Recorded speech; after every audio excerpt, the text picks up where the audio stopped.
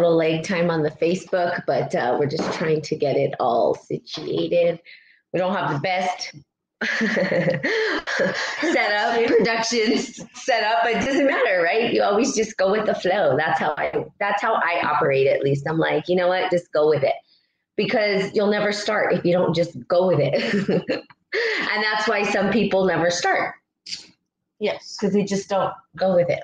So i do. I just jump right in i think i've told you guys a million times that i have jumped in head first my friend's like natalie you jump in head first to the pool when you don't even know if there's water in the damn thing, but you'll go head first, not even foot first, feet first, not even jump. I just go boop, I'm in. So that's the best way to get something done, I think, anyway. So cheers, Destiny. Hi, Destiny's with Destiny. me. Woo! Mm. I love this. Good morning, Sam. Is it Sam? Good morning, Sam. Um, and anybody who's on here on live, just say good morning. I'd love to say shout out. I know it's a little bit later than normal. I like to do this really super early, um, but circumstances change, and that's okay. We don't have a set time. We just want to make sure that we're getting information out and having discussions and conversations and all that great stuff. So, um, did want to kind of talk about. Um, I was telling Destiny, what do we talk about this morning? You know, like I just don't even plan that sometimes. I just get on and start talking, and then things start to flow, and then a healthy, natural conversation sort of arises from that. Um, so I was asking Destiny to sort of talk about the experience of living or having the um, luxury, and I don't know if it's such a luxury, of being around me um, because I do talk about this, and I always talk about living into the actual practices and living from and um, because you can you can talk about this stuff all day long but actually practicing it becomes the hard part. Um, and so I just wanted to have Destiny give a reflection on what she thinks and then also how it's impacted her life and how she applies all of these, you know, these practices to her life. So what is your what is your take on Auntie, first of all? Um, so Auntie, um, now that I'm older, um, it's very different actually. Um, I um, had you know everyone has a story definitely, but when I was a teenager, I uh, was finding my I was finding myself um, kind of going um, following others, not really um, having any individuality, just kind of going with you know whatever everyone else is doing. And um, that's okay too if that's something that anyone you know wants to but i knew that i wanted to grow in a different way. Um, and i just didn't know how i didn't have the resources. I had i was going to a really good school but you know i just didn't know where to start. And so um, i moved into my grandma's house when i was about 16 years old and my auntie was living here at the time and that's kind of where it all started um, back then um, that's what six years ago. So back then, it was you know I people thought I was a nut job for a really really long time with just certain little things that I would say. If I'm getting I'm getting to choose to live this life every day. I'm getting to do these little things. So I went to leadership. She opened up leadership to me and um, that door and met really amazing people and was able to understand a whole different world and being able to um, you know understand everybody's story and not having to collect any type of stories that are going on in anyone else's head because we don't know what's going on in anyone else's head whether we know we either way if we think we know what's going on in someone else's head or not we don't so being able to go to you know put yourself in them in their shoes and being able to you know feel for them and have compassion and know what integrity is and walk and walking in integrity and you know just stuff like that. So i you know i graduated high school. I lived my life a little bit whatever. But now being it's always been every time i'm around my auntie i grow like no other it's like a weed but like a really purposeful weed that is growing from the ground. It's like it just constantly I'm learning. So being around her, I'm constantly learning. It just every po- and then I'm learning about myself and then I'm learning about things that I've known my whole entire life, but it just comes up because I'm allowing those uh, parts of my mind to work again, you know, and she allows that is, you know, being able to open up different parts of your mind and being able to work through, you know, certain traumas, certain aspects of your life and being able to accept certain things in your life and being okay with that. So, yeah. Oh, I Um, didn't know that. Yeah. I was worried. I was like, she's gonna be like, she's a drill sergeant. So I'm like, ooh. No, you- yeah, I'm a drill sergeant. you are, but you're not. Like you've never like forced anything on me. You've never made me feel like I like we were talking yesterday about me feeling like I had to be perfect. You've never made me feel like that. You know, when I was younger, like when I was like really, really, really young, I thought I had to be perfect. So when I, my like point of view of her, I didn't like her. I didn't, but you know, um, it's you know, we evolve every day. We evolve every, you know, even more every year. So you know, and she did that with it. Who you know, people could, oh, you know, it takes years to do what she did, and she did it, and she, everyone thought she was crazy. I even thought she was kind of crazy. Yeah, I'm crazy. but then it made sense, and then people started thinking I was crazy. So you know, you know, and then we were all Well, crazy. we're all mad here. you know, but no, Well, we are kind of like the Mad Hatter And- with the tea well, party, No, but it's a coffee but party. it's a coffee party. No, but definitely, I think you know a lot of people have this like stigma of like who you are because you always seem so drill sergeant and so in your face and you need to do this and and it's really not that it's passion it's the passion that you have to wanting to give it out to the public and wanting to reach out to as many people as possible.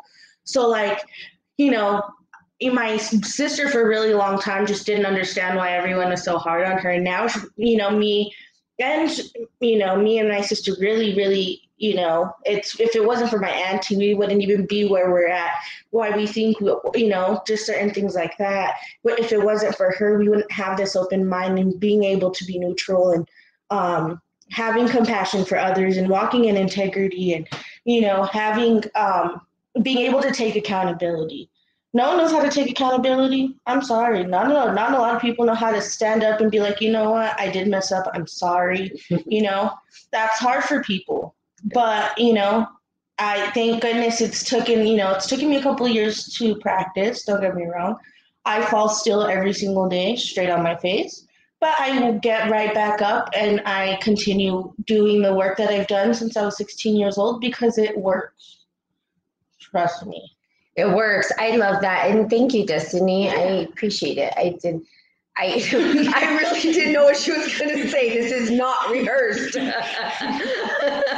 It's like, yeah, we're gonna talk about Auntie. That's like, Uh, I wanted because I thought she's gonna be like, she's this and she's that. And I'm like, okay, yes. Oh, whoosh. Okay, I have a lot of work to do. But um, I do appreciate that. And yes, I want to. It seems like when you're in it. So, good morning. I don't know who's on here, but when you're in the work, right? Because the work is not easy. It's not. People think it's easy and they say these concepts and i and i talk about these concepts all the time and then i say now go live it and see what happens see how easy it is to love people when they're cutting you off in traffic um, which is my biggest yes, yes the biggest trigger.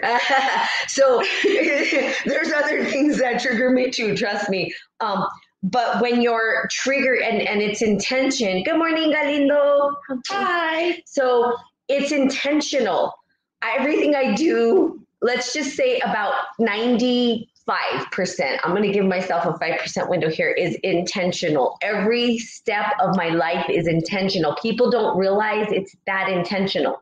It literally is that intentional. Everything, every thought, every way that I approach things, and she just said this morning like you're not a computer but it's not to compute. It's to be able to give myself the time to do what i need to do in this planet on this planet. How we utilize our time is critical. Here's the deal. I will trigger the shit out of somebody excuse my language. They will not like me but I don't care. My job is not to make people like me. In fact, I've said this a million times. I'm not everybody's cup of coffee. I'm not everybody's cup of tea, and that is okay. People will get pissed at me. People will point fingers. They will crucify me. They will whatever. And that's fine. I'm not upset about it because the only reason that I'm triggering an individual, the only reason people trigger me is because they want me to see things about myself that are holding me back. Same for the other individual. I can see it, so I'll support them. Now, they don't have to like it. Good morning, Renee. Hi. They don't have to like it. Um, you know, is it Adriana? I think it's Adriana. Um, cheers and good morning. Um, they don't have to like it, and that's okay. But I did it out of love, right? Do I know what's right for the individual? No, I don't. So giving them the space to process, because a lot of what I do is question, question, question, question. And the questions that I ask, people don't like them. And I did it for a really long time. She's questioned everything, everything. And oh my gosh, the questions, the questions, and then never stops. And, ne- and it still does it. But I've gotten more comfortable with it. it. See, that's the thing is being able to be uncomfortable um, and setting, you know, surrendering and being like, you know what, I, I need to be uncomfortable to understand what I need to go through and process to actually grow from this situation. So yeah, I uh, definitely she. I don't think she even realizes the impact she's put on mine and my sisters and our family's lives. And you know, I think she. You know, seriously, I think you get like a little hard on yourself, and you think that in our head, you think that we're your drill sergeant, and no, in reality, like when I was in darkness, like you were the light, you know, that like you were. When I had nowhere else to freaking go and figure out what I was going to do with my life, you were just like, it's okay. I, my arms are open and I accept you for who you are. And that's all I needed. And like, so for you, like you are a Joseph, like, yes, you are. Yes, but like you're not. You like you you're a perfect balance and that's exactly what I need sometimes because I don't get a lot of balanced people in my life at all. Um, it's usually very, you know, one-sided or very, you know, but never a balance. So you've always been that balance in my life. Definitely. I'm gonna cry. Thank you. I'm like, oh, this is turning out very different than I I thought that it was going to turn out. By the way, which is That's always good. I'm not just saying that. What do you want? No, No. what are you trying to jab for me? no, seriously, nothing. Like genuinely. no, but like you need to know that too. Like I think, like I said, I think in you know you think, you know we we think that you're just hard on us, and that's not it at all. You you just want to see us grow and become the best person we could possibly be. Absolutely. When I was, you know, 16, of course I'd be like, what is her problem? Why is she asking me 10,000 questions? I don't want to answer these questions. I'm uncomfortable and I'm a really private person. So I don't like sharing my business. And so I was just, you know, it's like one of those things where I'm like, stop asking me questions. Just leave me alone. but now it's like no a- ask me those questions i need to get in that deep root of whatever's going on that trauma the whatever i need to process so i could get um so i could go forward and i could you know continue to grow and be you know become the best person i could possibly be from yesterday so that and the good and the cool thing about it is here's how I feel about it. So I do appreciate the feedback. Um, um, I do provide the platform and open space for an individual to explore. I do ask questions that trigger the hell out of people, but I don't have attachment to um, what the outcome is going to be for that individual. Why? Because it's not my life. It's not my story. I've said that over and over again. I can provide and facilitate an open space to guide you there.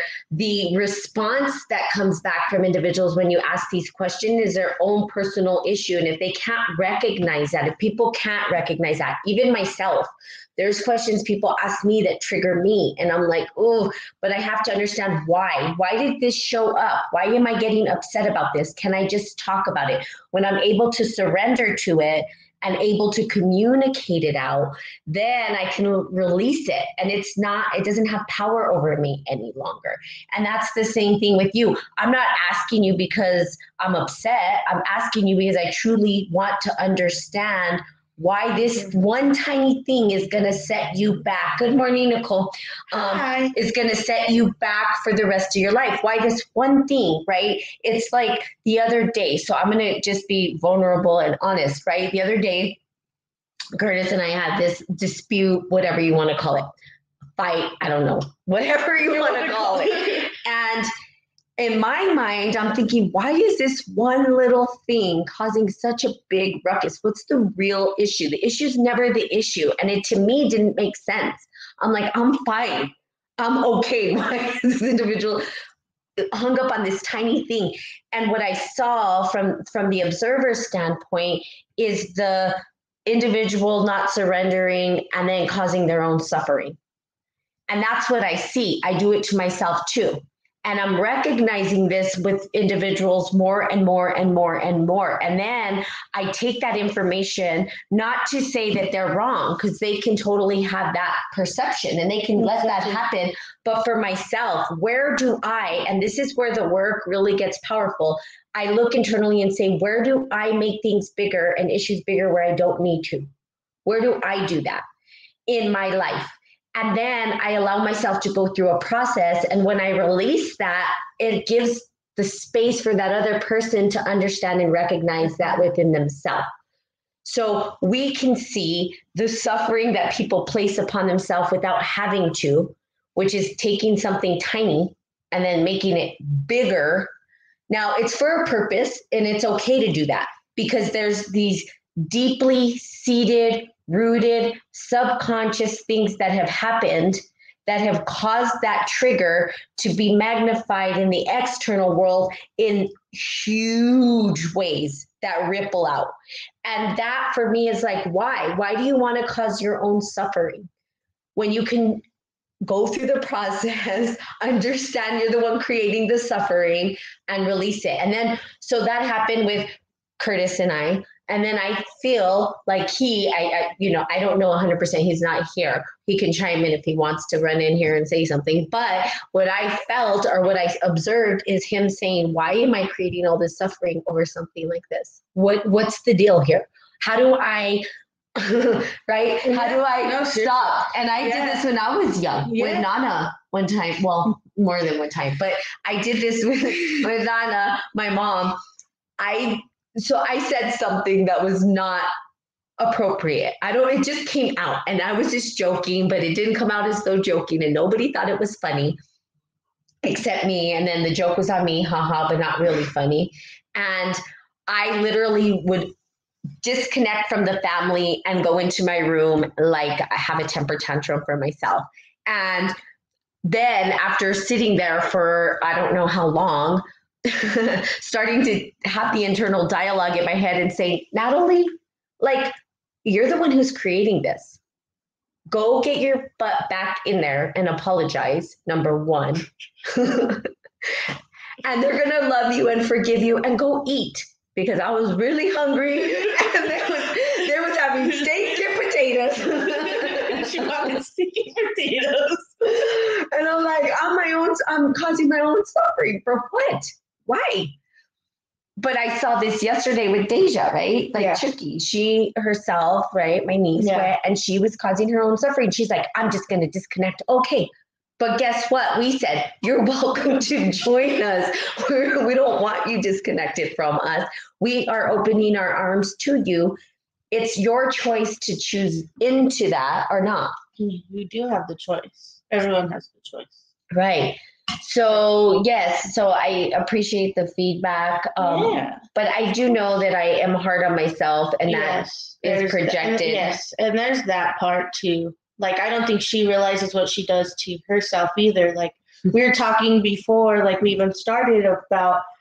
I was like you're a robot. I was like, but not in like that sense of a robot. More of like, there's this that I need to do. There's this that I need to do, and she has everything planned and everything figured out. And sometimes when it doesn't go her way, it gives her anxiety, and she starts freaking out. And she and it starts project, like she said, it starts projecting into the into our world, and we start to see it. But you know, she like I told her, she has no idea what the word relax means. She has no idea what it means. but she's you know learning and she's unlearning what relax means in her head and relearning what it you know what she you know What's what gonna what's what's going to serve her because it's not serving her right now but it's you know she's working on it and you know she's figuring it out See, I have problems.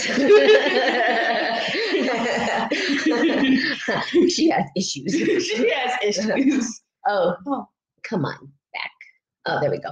Okay. So again, learning, relearning. Um, so with Destiny, um, and what I love about Destiny, I love that she says that she's growing like a weed and stuff, and that does happen. Um, I would say the reason that you know I've heard that feedback from other people, like when I'm around you and I do coaching, things start to grow, things start to move, and the reason why is because um, are watching with you. Okay. So I like Lisa. Okay. And the reason why people grow is not because I'm giving them any kind of anything. It's because I'm giving them the space to recognize how they can grow. That's the big kicker. So even in your life, it's like if you have individuals where you see that they're stuck, rather than trying to unstuck them, unstuck them you can't do that for them, right? And that's kind of funny. That happened with Curtis and I too. He's like, "What do I do?" I'm like, "Pray to God." I can't. I can't tell you to be unstuck. I don't know. I don't have the answer for you. I'm sorry, but I can provide you a space where you can explore how to be unstuck. That takes the internal, like, how do I internalize what's going on in my life? And you can say, "Hey, I need someone to talk to." I have a great friend like Della which I haven't talked to in a while. So Della is like, she literally would say, okay, so if I need you sometimes, can I just call you? And then I can just like dump all my stuff on you. Like I, I just just be an ear to listen. And then at the end, just say, what are you committed to? And I said, yeah, absolutely. So you can do that for a friend. If you, you know, you have a friend who's like, I just need to get this out. I don't need any kind of advice. I don't need any feedback. I just need someone to listen. When you allow someone to speak without interruption and they just want to dump, and you're just like, okay, you're ready to take that information and then let it go, and then just ask them what they're committed to, that gives them the space to grow, the opportunity to explore. So it also gives them time. Time, and I know time has been a big thing. Time, time, time. We keep bringing up time, but time itself, we only have in this vessel a limited amount of time to observe the space we're in right now.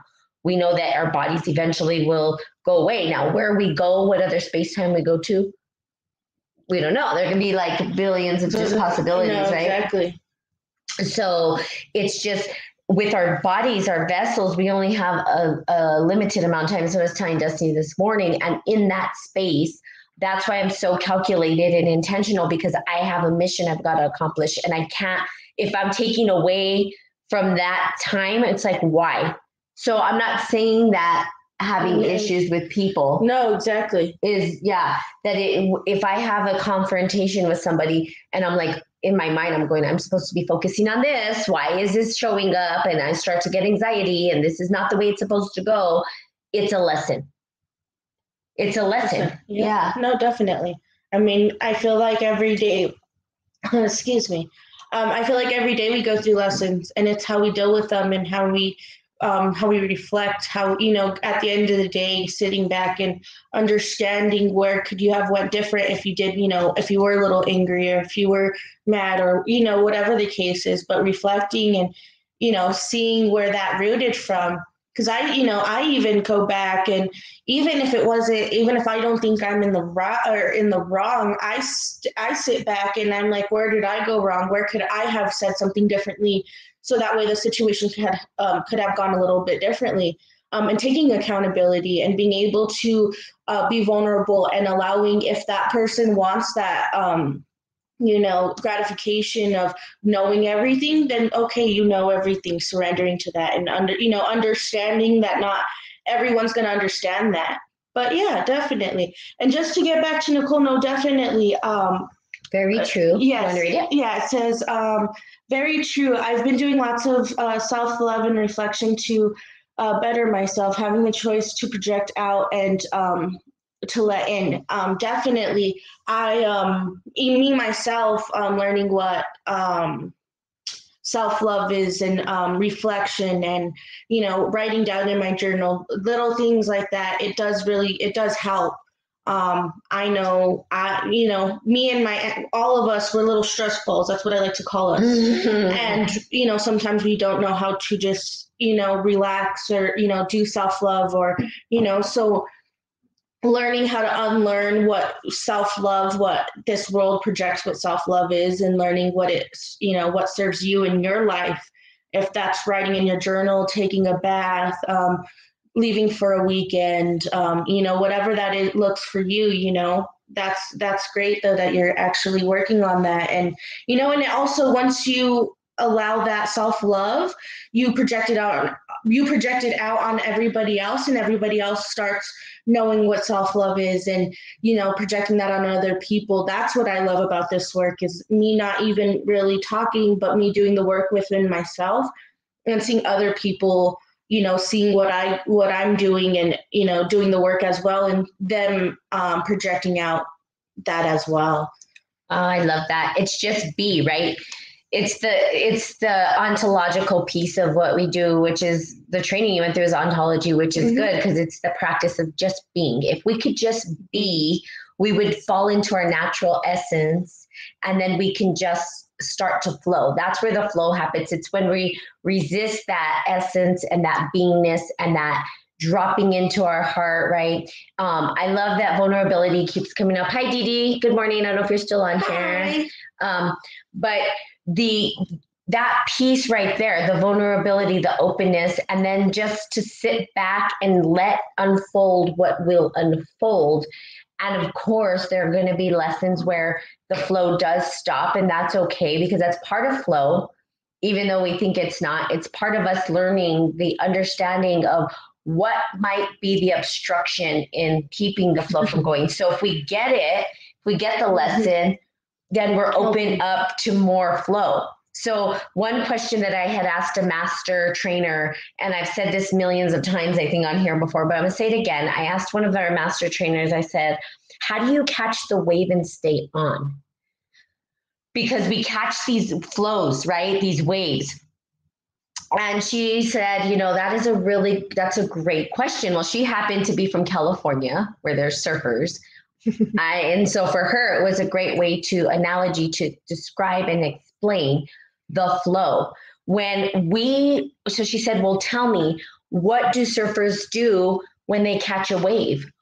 And I said, well, they ride it. And she said, yeah. And what happens when they fall off? And I said, well, they, she said, what do they do? I said, well, they go back and then they paddle back out and they catch the next wave. And she's like, exactly. It's a practice. It is a practice.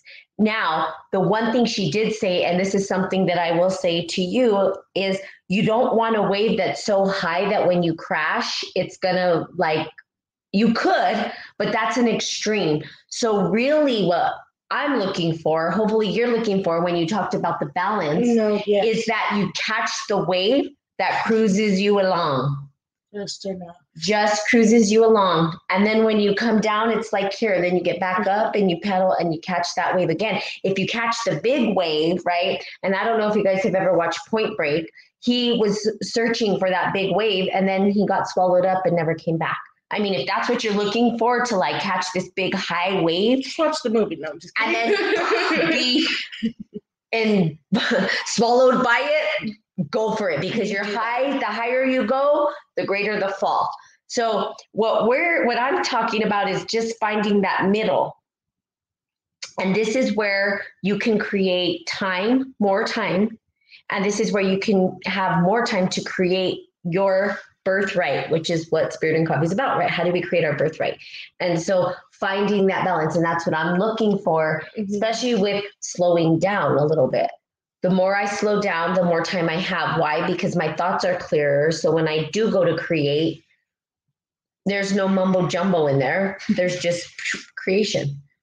So finding finding that. And I love the self-love. Yeah. Getting back to self-love. Self-love, because I say I love myself, but self-love part of that is nurturing the body. Hmm definitely. And the mind, and you know, everything, you know, sometimes taking a break, and you know, like yesterday, we were talking about being silent. Sometimes, like if you are in a partnership or in a relationship, whatever, sometimes it's not always for the other person. Sometimes it's for the other person, and having, if you know, being silent or taking a bath or, you know, leaving for a little bit or um, writing in a journal, um, writing a song. I mean, anything you could possibly think of that you love to do, definitely tap into that and see, you know, just a little bit, even just to see what even happens and finding that balance. Because, like I said, here in this house, household, some of us really just don't know how to relax, and this one especially. So, but yeah, I'm trying. She's. I did good yesterday. You did. She did. She, she's learning very much so. But yeah, it's you Mhm. know, it's de- that's definitely a good practice, and not just a practice, but something that should, you know, at least twenty minutes of your day, and having that self, you know, reflection or you know, doing what you love for the day. I know what we could do now. So we're gonna wrap this up. I totally um, appreciate Destiny for getting on here. Thank you again Yeah, for being a guest. I love it. I wish we do this all day, every day. Cheers. With a better studio. Okay, we will get on We're our game get- plan yes. eventually. I promise you. Have- But, I'm figuring it out. but oh, Mhm. resume. Oops, I don't know what happened there. Okay, getting back on our game plan. Um, because um, I just think that the words that we speak are more important than right. I want people to hear the content, but obviously people are visual. I get that. So, um, but the content itself is what's important anyway. In my personal opinion, it's about quality, not quantity. But eventually, we will have a studio that's nice and so that it it it's set up for the platform to do this and have guests and all that kind of stuff. Which right now we're not 100% there. It's okay. Um, but the content itself it doesn't change and the content is what's important so hopefully you're getting some something out of it that's going to support you to move your day along and for today practice uh, relaxation or do like she said the 20 minute ritual that's going to help you um, sort of allow yourself the space to just breathe and be open and then you can get to the tasks that you need to and so um, i would like to do a um, mud stuff. Um, wash my face and put some mud stuff on there, and then roll out with the little roly thing With the rose quartz. with the rose quartz on the face. um, that's what we're gonna do. Okay, okay. Then maybe we'll take pictures and show you guys. so um, cheers. We have to. Oh, we also have some other stuff coming up. We're doing videos um, where we did some recordings yesterday, which was pretty fun, some production work and all that kind of stuff. Um, so shout out to Curtis for supporting um, setting that up. Um, and that's awesome. And then a shout out to Destiny as well for the makeup she did for me. She did me so beautiful. Um, and uh, also for participating in Spirit and Coffee. Um, and anybody else is welcome to join. Again, it's a family. This is not just a Natalie thing, although it was for quite a bit. But I feel like it's going to grow into um, other individuals being able to share their stories as well because remember your story is just as important and you have a unique fingerprint that you get to leave in the world. And we're here to support that however we can. Um, correct amundo? Yes. yay. Yes. so salud. Yes. Cheers. cheers. Have a great day and we will see you tomorrow. Bye bye bye bye yeah.